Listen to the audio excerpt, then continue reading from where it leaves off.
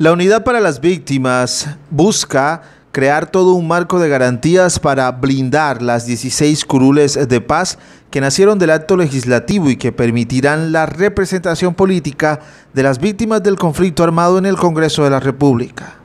Pues lo que estamos haciendo es blindando todo el proceso, queremos blindarlo desde el acto legislativo hasta cada una de las resoluciones que tienen que sacar tanto la registraduría como nosotros, Comunidad para las Víctimas, para que de verdad se inscriban las personas que están debidamente registradas en el registro único de víctimas.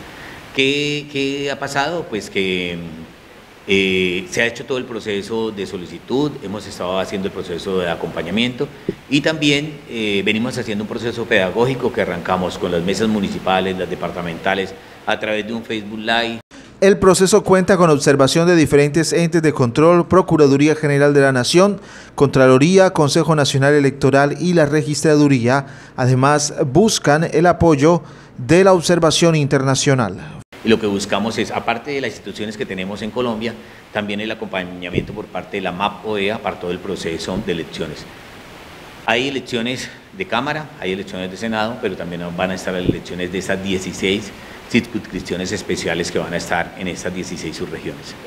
Para el caso de Córdoba se trata de la circunscripción 14 que involucra a los municipios de Puerto Libertador, San José de Uré, Valencia, Tierra Alta y Montelíbano. El acto legislativo de las cruces de las víctimas establece que se elegirá por voto a un representante a la Cámara por cada una de las circunscripciones especiales.